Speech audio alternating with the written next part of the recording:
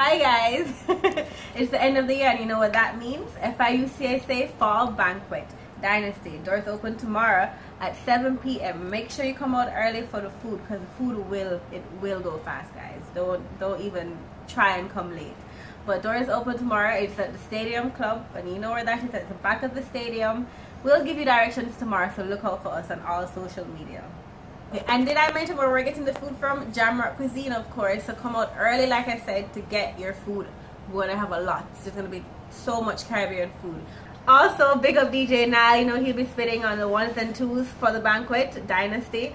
He's been blessing us all so I want to thank him for always being there for us, and also big up all of our other DJs. But Dynasty tomorrow, Thursday, doors open at seven semi-formal attire. Make sure you come out dressed to impress. I don't want to see nobody you know in no shorts or anything like that. Just make sure you come look good. Last but not least release thursday you know it's going to be happening right after the banquet. So doors open at 11 make sure everybody goes there. It's official after banquet party. It's going to be a bear vibes i know you've been to the last two. This is the last for the semester so make sure you come out and support. You know it's all one family here. Good vibes of course so come out tomorrow, guys. FIU CSA's Fall Banquet Dynasty. Come and end the semester with a bang with FIU CSA. See you guys there.